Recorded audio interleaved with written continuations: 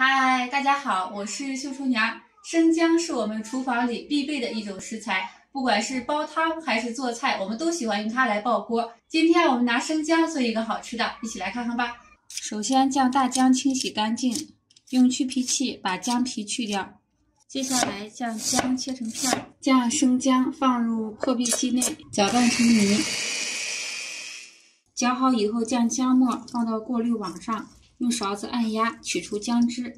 锅内加入二百五十毫升纯牛奶，加入一勺红糖，红糖或者是白糖都可以，因为它们在这个料理中是不起什么作用的，只是给它调整一下口感。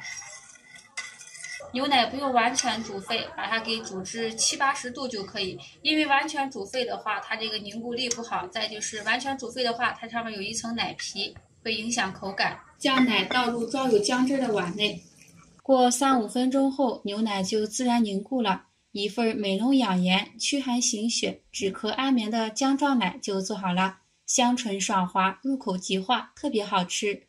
我是秀厨娘，喜欢我分享的视频就转发给身边的朋友吧，谢谢大家，明天见。